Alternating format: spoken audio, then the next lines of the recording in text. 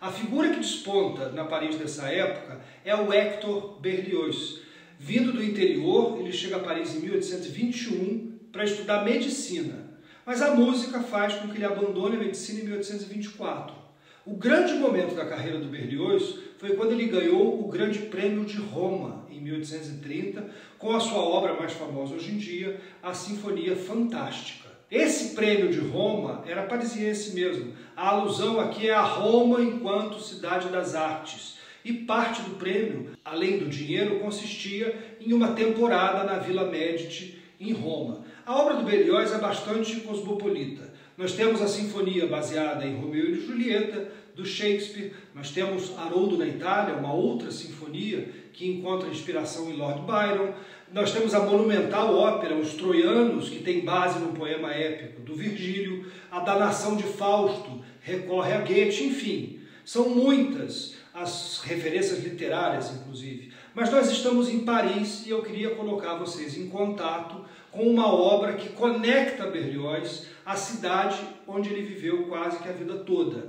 Em 1840, o governo do rei Luís Felipe encomendou a Berlioz uma obra para celebrar os 10 anos da Revolução de Julho de 1830, que havia forçado a abdicação do Carlos X do trono e colocado então o monarca que faz essa encomenda, o Luís Felipe.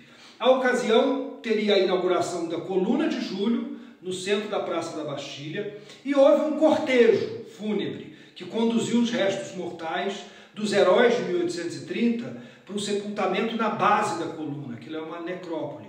Para isso, o Berlioz criou uma sinfonia para ser executada por uma banda militar de 200 integrantes. Afinal, era música para se tocar ao ar livre, sem condições acústicas como a de uma sala de concertos ou um teatro. E ainda tinha um cortejo, ou seja, os músicos tinham que tocar em movimento. Uma segunda parte seria tocada já na praça, com a adição de um coral no final. O nome na ocasião dado pelo Berlioz foi o de Sinfonia Militar, mas depois ele adaptou a obra à sala de concertos e fez o acréscimo dos instrumentos de cordas, porque eles seriam inaudíveis na turbulência de uma cerimônia pública e impossíveis de se tocar em movimento. Vocês podem imaginar um violoncelista andando pela rua? É impossível.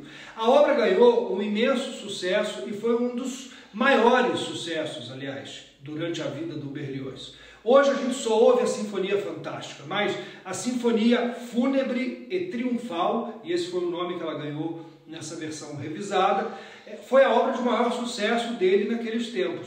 Até o azedo Richard Wagner, que era um sujeito sempre pronto a criticar negativamente os feitos dos colegas, ele ouviu a sinfonia em 1842 em Paris e depois, numa conversa com Schumann, disse que tinha ouvido uma obra perfeita do início ao fim, vindo de Wagner não é pouco. Então vamos nos imaginar lá, né? Nós temos aqui um vídeo da Sinfonia Fúnebre e Triunfal, já nessa versão, na adaptação para a orquestra completa, mas sem o coral no fim, porque esse coral é opcional. Primeiro nós temos a procissão, os restos mortais dos heróis sendo levados até a coluna de Júlio. O destaque, é claro, é dos instrumentos que podem configurar uma banda militar, porque essa é a origem da sinfonia.